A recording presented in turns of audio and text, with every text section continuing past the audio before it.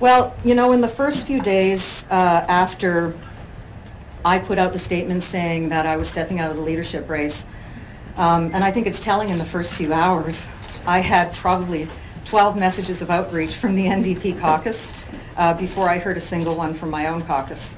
I think that really says a lot. Uh, You know, I was certainly struggling after that. I think the, I think the note that I put out indicated that.